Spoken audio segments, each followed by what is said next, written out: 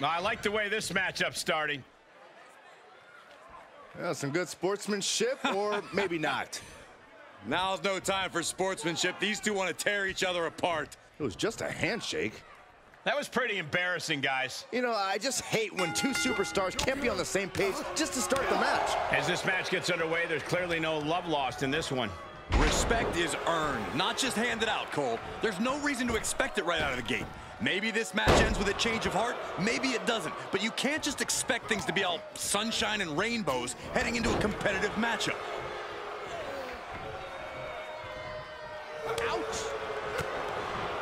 Clothesline! Ooh, well measured.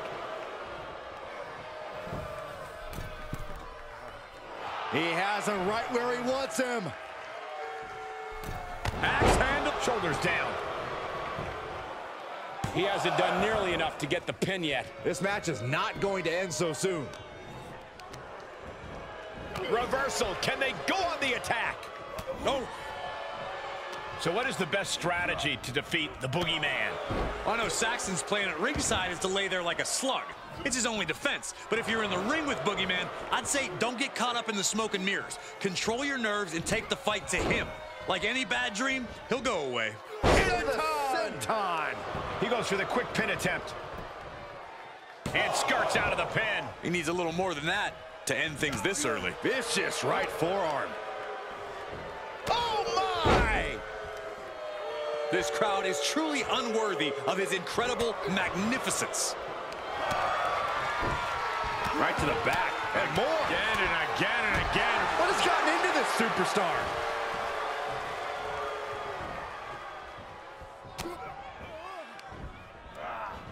Backbreaker. That'll realign your vertebrae. And the boogeyman is now in a demoralizing spot. This guy is looking past the smoke and mirrors of the Boogeyman. He's controlled his nerves and taken the fight to Boogie thus far. Big impact.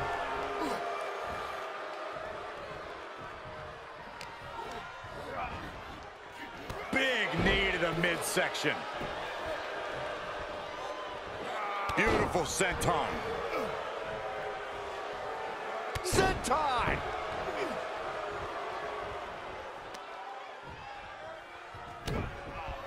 Oh, there goes the ankle. Assailing the joints of the leg. He is just reeling from that offense.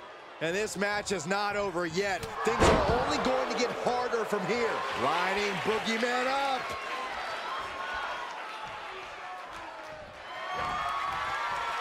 Time to flip it. Boom! Switch.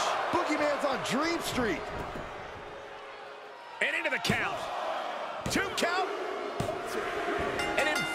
An emphatic victory.